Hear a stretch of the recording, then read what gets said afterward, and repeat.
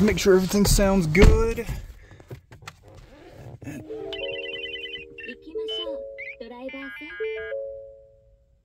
You didn't hear that. This is Revival GT. It has been a long time. I am not dead, only on the inside. So this is how to change your rear diff fluid in your, say 2015 and up uh, Mustang GT. I think it's gonna be the same on the EcoBoost as well. But here is what you need. So you're gonna need to get two of these guys. Now the manual claims for 75W at 85. The 90 is is, is fine. Um, 85 is kind of hard to find unless you get it like from a Ford dealership or order it online. This stuff came from O'Reilly's or AutoZone or whatever. Uh, so you can pick up a couple of these. You'll only need two. They do have, I think it takes 1.6 quarts is what it is. So you'll have a little bit left over. Um, now the Royal Purple says it has the friction modifier already added. But I did get some of the Motorcraft stuff also because I did see some people saying that they had some rear end chatter uh, if they didn't use this. So we're still gonna put this in. You're gonna need a 3 8 ratchet. You're gonna need a little pump like this, uh, some Teflon tape, and a zip tie, and probably some gloves. I'm gonna wear these. I don't care. Um, that, that stuff can be kind of nasty. So jack up your car. You wanna make sure that you have it as even and level as possible. Uh, that way your fluid is gonna be correct whenever you go to put it in. It's not gonna be all jacked up. Oh, I'm sorry. And you also need something to drain it into. So don't be a dick. Don't just dump this in your backyard or something. Take it to an actual place like AutoZone or something to uh, recycle it. You're gonna wanna make sure you're supported on all four corners. I always just leave the jack on one side just in case, a little backup. But yeah, don't, don't uh, unalive yourself. Now you may be wondering, hey bro, what do you need a zip tie for? To uh, to do this. The service manual says that when you're filling up the fluid, it needs to be nine millimeters below the fill hole. So I don't know if all zip ties have these, but basically you're gonna want, when you stick it in, or once you put your fluid in, you're gonna kind of stick this in the fill hole and you're gonna want it to sit between like the fourth and fifth lines on here. That's gonna get you as close as possible. More than likely, you can probably just fill it up and uh, let it, you know, weep out of the hole. But if you track your car, uh, if you take really, you know, hard turns and stuff like that, uh, it will spray out of the vent onto your uh, thing back here. And uh, I don't want to deal with that. I don't really drive this car like that, but if I'm doing it, I want to make sure I do it right. So now I'm going to stop being embarrassed that my neighbors might see me uh, making a video, and I'm going to open the garage. And guys, this is something that's really often neglected on cars, but all the fluids on your car need to be changed at some point. Doesn't matter if they say it's lifetime or not or whatever. Um, I've got 54,000 miles on this car. I could probably go further with it, but I like to make sure that my stuff is gonna last a long time. That still has the factory oil in it. So whenever I pull this uh, drain plug, it's gonna have some metal on it. It's gonna have, uh, gonna be like some metal paste, you know, stuck to it because the, the thing is magnetic. Just make sure when you see that you don't freak out. Just wipe it off and you'll be good. All right, so here's our rear diff.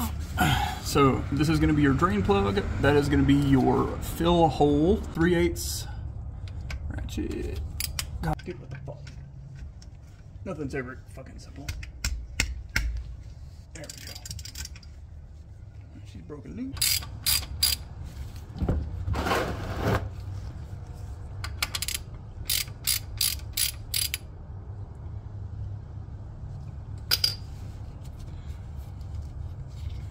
Oh, here he comes.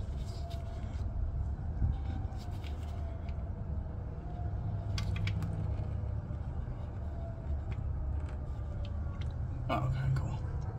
It's pretty thick, so it doesn't just like launch out like oil does. Yeah, there's some, yeah, that's sludge. It's metal. That's metal. We're gonna make sure we get that wiped off before we put that back in. And so I did see, already wiped it off, but I did see a little bit of that metal sludge. Just make sure you get in here.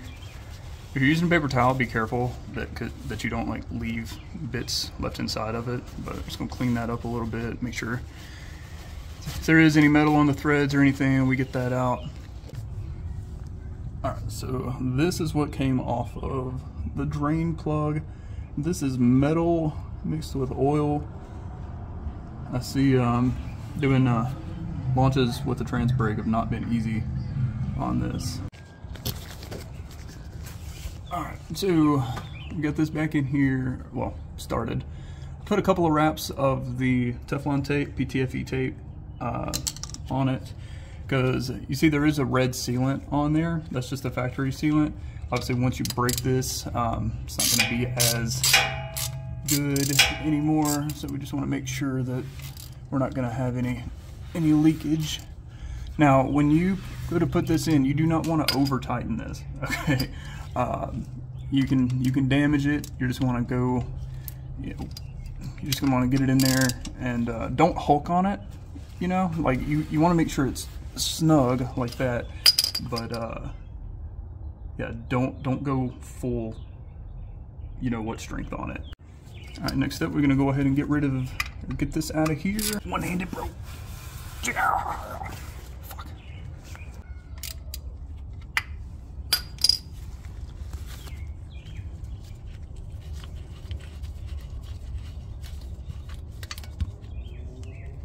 Oh, look at that. Even the top one has some metal on it. Make sure you clean these out.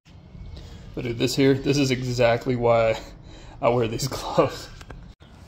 So this little pump is pretty sick. So it just threads straight on to like whatever bottles you have. Uh, it's got like two different, like there's a thread adapter on the inside and there's a bigger one on the outsides. Just put this hose, oh god, oh god, oh god. But I don't know, we're gonna stick our hose up in the hole. We shall start pumping. Oh shit. There we go. You gonna pump it. You gonna pump that fluid. Yeah, you fill her up. Dirty little car. I'll fill you up so good. Holy shit, this takes a lot of pumps. Oh my god, bro, hurry up. Oh, there we go. If you don't get that hose caught on the threads and peel some of it off. That would not be good. You don't want this stuff floating around.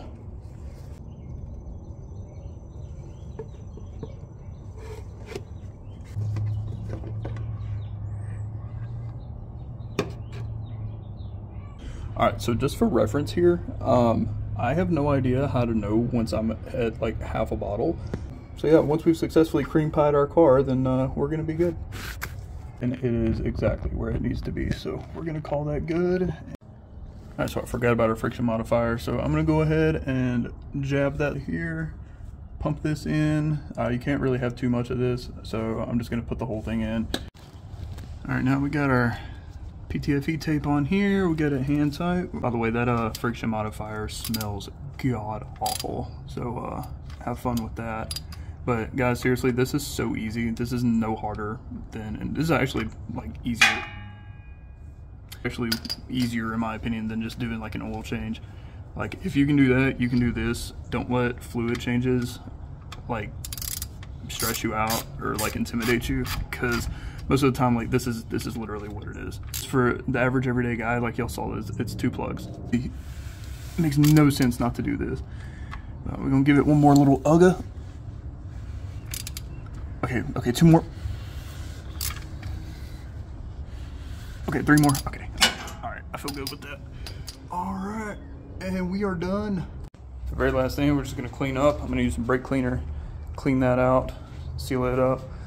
And last but not least, put your tools back where they go, you freaking Neanderthal. Don't be lazy. All right, so everything's good. Everything's good. There's no weird sounds. It's not whirring. It's not like doing that wow thing whenever you slow down. Um, yeah, we're, yep, we're good. Yeah, if you guys do what I did, um, if you break anything, don't sue me, but I think, I think we're good. I think that's all you need to do. All right, guys.